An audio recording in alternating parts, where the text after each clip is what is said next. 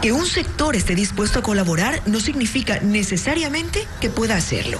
Hay quienes se preguntan por qué, por ejemplo, no se permite a la empresa privada que compre las vacunas y se las venda a la gente que puede pagar.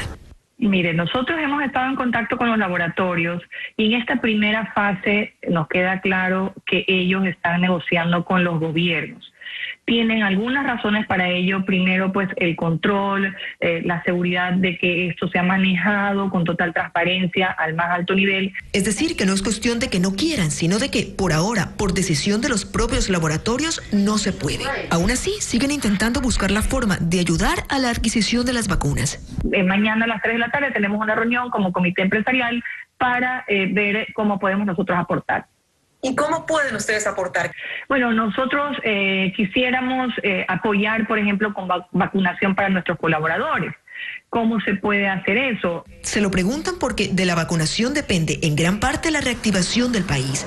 En el primer mundo hay países como Canadá, por ejemplo, que adquirió 400 millones de dosis para su población, que es de menos de 40 millones de habitantes.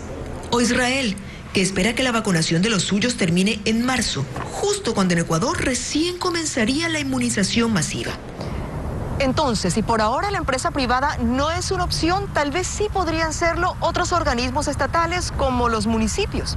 El de Guayaquil, por ejemplo, le ha hecho ya una oferta concreta al gobierno central para que el municipio de Guayaquil ponga los recursos, ponga el dinero, que no necesariamente haga la adquisición directa, porque efectivamente si 221 cantones compran directamente puede crear un problema logístico. El municipio de Guayaquil está dispuesto a poner los recursos para que las vacunas lleguen en las cantidades necesarias para todos los guayaquileños. Pero claro, eso es solo una propuesta que no puede concretarse sin una respuesta del gobierno.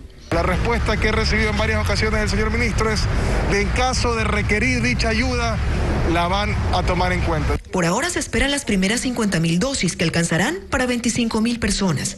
No hay un cálculo para saber, a ese ritmo, cuántos años tomaría vacunar a los 17 millones de ecuatorianos.